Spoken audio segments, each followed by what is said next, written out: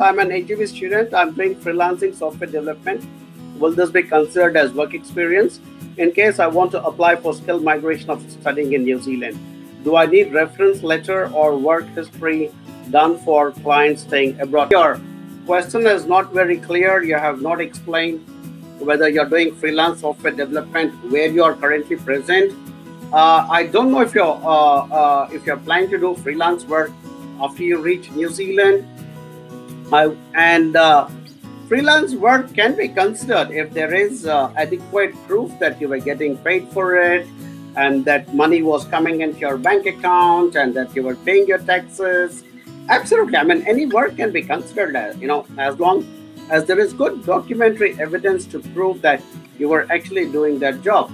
A lot of people say oh but i was a freelance person and i was getting paid and the company was paying me in cash. Obviously there is no proof to establish that you did that work or you know or you got paid. So that's how it works in amica. But since your question is a little technical uh, just forward it to the advisor you're speaking to in um, uh, india and we will answer it in a bit more detail